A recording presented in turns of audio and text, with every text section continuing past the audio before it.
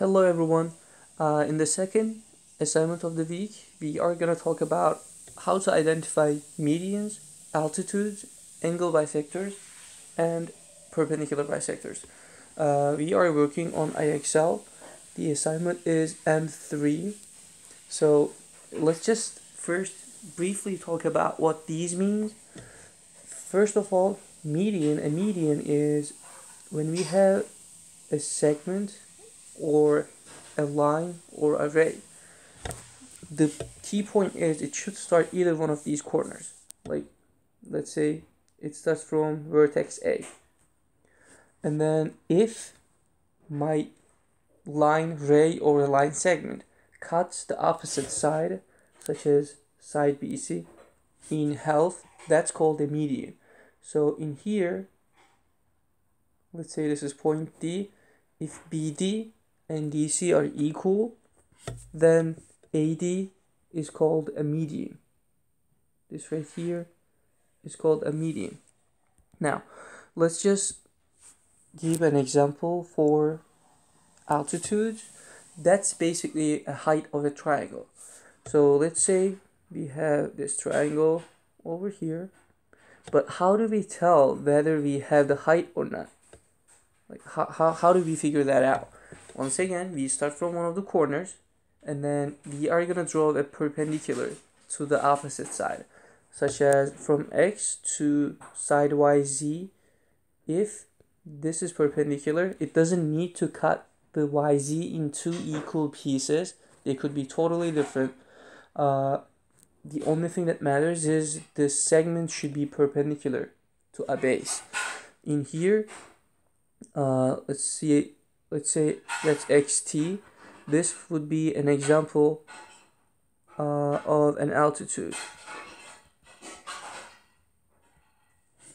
Here's another example for angle bisectors. I believe everyone would know what this one would look like. Uh, here's a random triangle.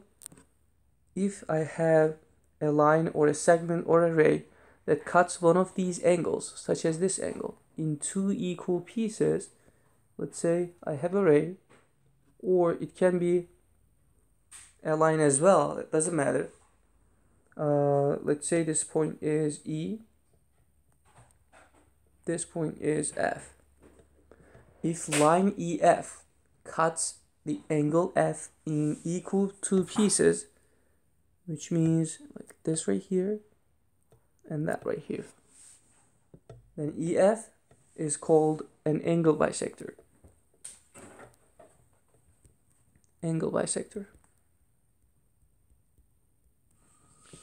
Lastly, uh, let's see, we have a perpendicular bisector. Perpendicular bisectors, we are looking for something perpendicular, like the altitude, plus it's going to be a bisector. It is going to cut the side in two equal pieces. It, it's not just going to be a 90 degrees. For example, let's say, just redo this. Let's say I have this triangle right here uh, if this is perpendicular, then it is called an altitude. If it also cuts the side in half like this right here, then xy is called a perpendicular bisector. That's just a brief overview of what we are dealing with in this assignment. Okay, let's get back to our question and see what it is about. Uh, we have two angles because this sign means angle. If two angles are congruent, then we are talking about angle bisectors. Only if one angle is cut in half. Let's just uh, see the figure and see what two angles these are. WVX.